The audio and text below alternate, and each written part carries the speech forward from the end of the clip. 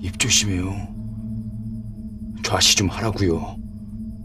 형님 아저씨들 입 좌 단속 시